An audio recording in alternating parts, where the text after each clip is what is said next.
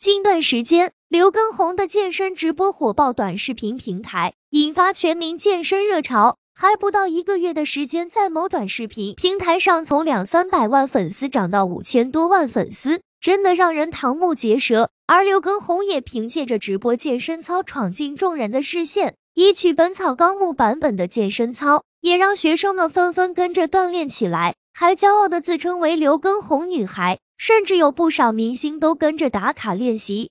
刘畊宏直播健身不是单挑匹马，而是和老婆王婉菲一起在镜头前健身，有时岳母也加入其中。谁能想到，就在疫情期间，这位四十多岁的艺人竟然一夜之间成为健身界的顶流，与他相关的话题也登上了热搜。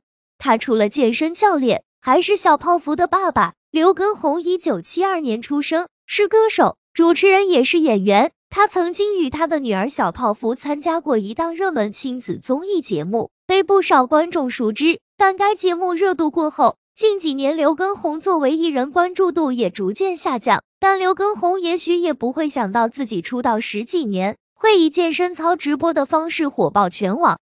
其实刘畊宏还有一个标签，那就是周杰伦的多年挚友。他曾经也是周杰伦的御用教练。而说起周杰伦，应该没有人会不认识。作为一代人年少时候的偶像，周杰伦三个字有着特别的意义。好像一提到周杰伦，哼起他的歌，就又回到了那些青春年华。毫不夸张的说，从八零后到零零后，每个人青春里都有几首周杰伦。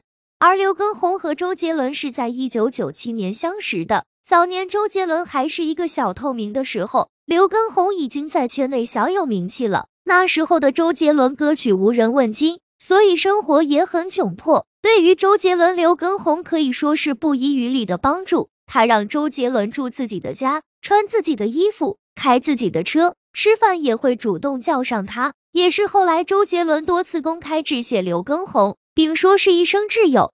在周杰伦成名后，一直对刘畊宏很关照，在自己的电影或者 MV 中。总是让刘畊宏来出演。如今周杰伦的歌几乎都被刘畊宏编成轻快的健身操歌曲了。他甚至公开喊话周杰伦：“快出新专辑，没歌跳了。”面对刘畊宏的催促，周杰伦甚至觉得刘畊宏是粉丝派来的，吓得逃出画面，实在是太逗了。